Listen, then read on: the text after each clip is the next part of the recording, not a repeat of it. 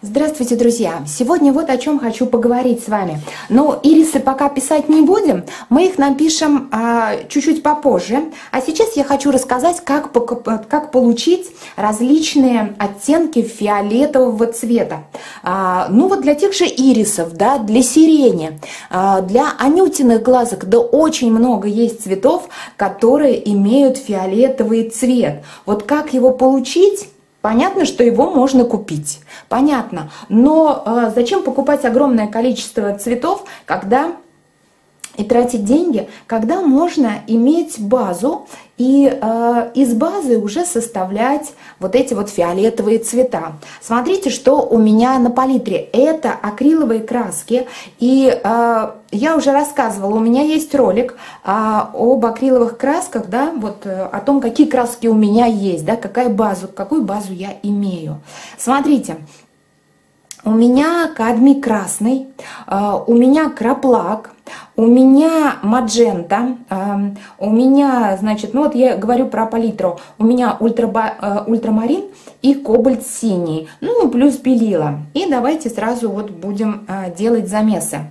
А, первое, что я сделаю, я смешаю ультрамарин и смешаю с краплаком. Это вот самый традиционный, такой вот самый получаемый фиолетовый цвет – этот фиолетовый будет различным в зависимости от того, какое соотношение я возьму. Ну вот я взяла примерно половину на половину, и э, смотрите, что у меня получается. Вот такой вот красивый, красивый фиолетовый. Видите?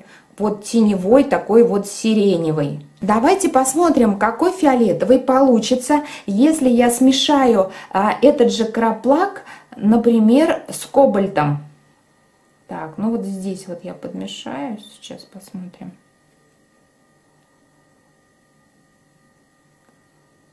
Так, давайте будем смотреть. Вот такой вот красивый цвет получается. Вот, они высохнут и будут вот прям фиолетовыми. Сейчас такие немножечко темноватые. Он будет более темный, чем мы получали э, в замесе краплака с ультрамарином. Вот этот будет более темным. Так, теперь давайте я сейчас покажу чисто мадженту, какая она. Вот, она розовая.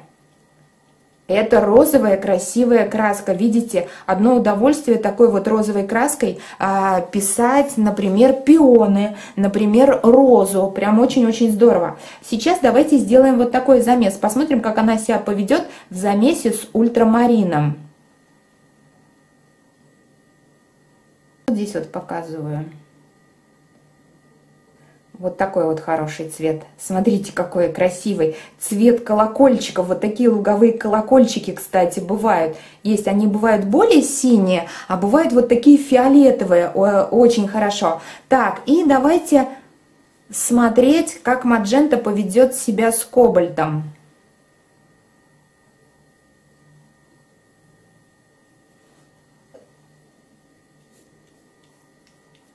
Да, точно такой же вот красивый-красивый замес. Смотрите, как здорово. Хорошо, но это мы работали с холодными красными, да, холодный красный, холодный розовый у нас был. А давайте сейчас попробуем а, кадмий красный, это теплая краска. Сейчас посмотрим, что получится, если мы кадмий красный смешаем с ультрамарином. Смотрите, какой цвет красивый получается. Вы знаете, это цвет сливы. Это цвет сливы, когда она уже вот там, допустим, полежала, например, да, в натюрморте, и вот она становится вот такой вот фиолетовой. Или в тени вот такой вот красивый. Вот видите, а, тоже можно работать. И а, кобальт синий у нас будет, кобальт синий и красный, кадмий красный. Такой вот будет серо, серо-фиолетовый.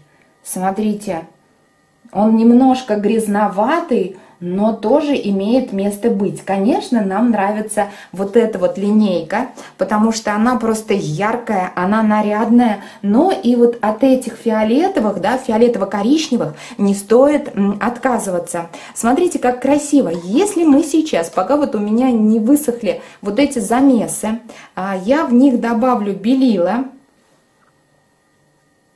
посмотрим, что получится.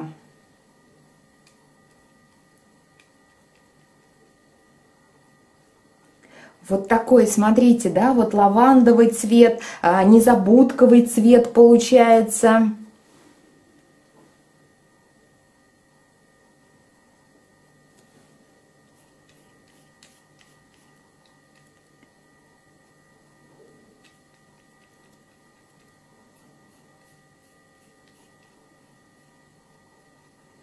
Такой вот фиолетовый, тоже очень красивый. Ну и сейчас сделаем разбел мадженты. Просто хочу показать, какая красивая краска. Одна из моих любимых красок.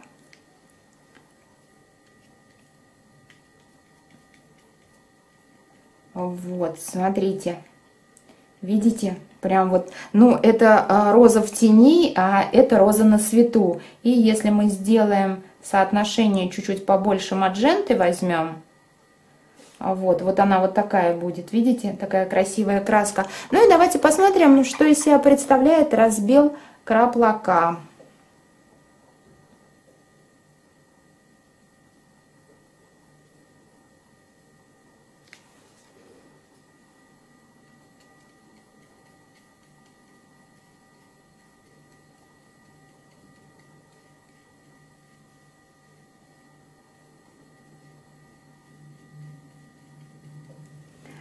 Вот смотрите, вот розовый, да, видите, розовый разбел краплака дает какой-то розовый, тоже пионы можно рисовать, а, и еще эм, и розы можно рисовать.